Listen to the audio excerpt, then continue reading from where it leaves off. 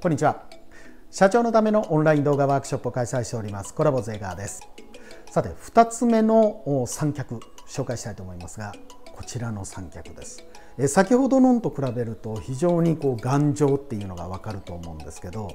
あのこれ雲台もついてるんですね。でえー、っとこう360度こう回ります。で、えー、何がいいかっていうとまあ、先ほどのと比べるとどっしりしてるっていうことで、あのまあ、iPhone で私は撮影しているんですけどやはりここが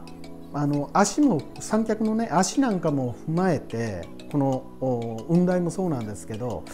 えー、っとまあ、安いやつっていうのは、まあ、軽い分安定が悪いです。これめちゃくちゃ安定がいいです。でこの赤いとこのレバーをぐるっと回すことによって足がこのように平べったくできるんですね。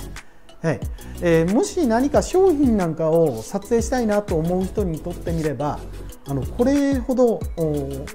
まあ、要は撮影距離が短くなりますので机に置いたあの商品なんかを撮影する時にも非常に便利です。ということで、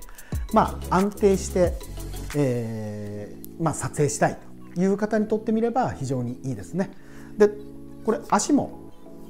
回すことによって伸びますので、えー、高さ調整というところでも可能です。えー、もう少ししっかりした三脚が欲しいという方はこちらの三脚おすすめです。レッツ動画